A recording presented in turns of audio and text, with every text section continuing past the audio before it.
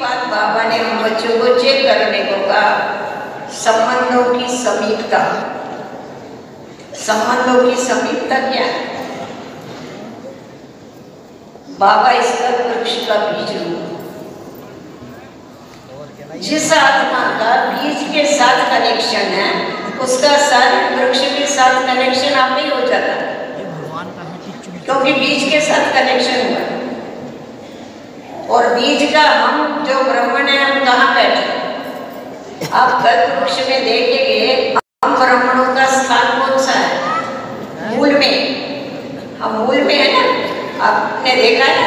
सबने देखा है कल्प वृक्ष का चित्र हाथ ऊपर करो जिन्होंने देखा है जिन्होंने नहीं देखा होगा यहाँ देख लेना तो कल्प वृक्ष के चित्र में बीज शिव बाबा है और ब्राह्मण जो है वो मूल में बैठे हैं। जिसकी यादगार आज भी ऋषि मुनि जब तपस्या करते हैं तो झाड़ के मूल में बैठ के करते आप देखना।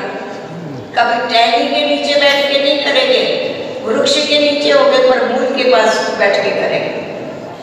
तो क्योंकि हम ब्राह्मण मूल में बैठ के तपस्या करते हैं, तभी मूल का कनेक्शन तो बीज के साथ बहुत नज़दीक है। तो हमारा बीज के साथ कनेक्शन होने के कारण सारे वृक्ष के साथ कनेक्शन इसीलिए अगर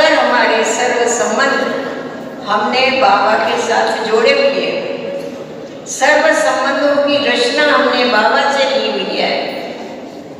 तो हमें सारा वृक्ष प्रिय लगेगा बाबा ये सर्व संबंधों की सैकरीन है।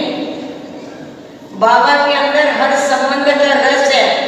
आप लेके देखो। जिस समय हमें एक एक संबंध का रस बाबा से लेना आता जाता है उस एक एक संबंध का रस बाद नष्ट मोहा स्मृति लब्धा बनना बड़ा सहज हो जाता है।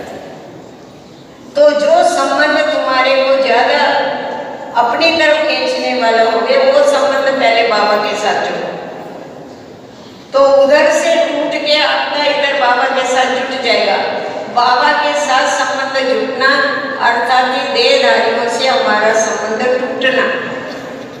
तो जितना जितना हमारा बाबा के साथ सर्व संबंध जुटते जाते हैं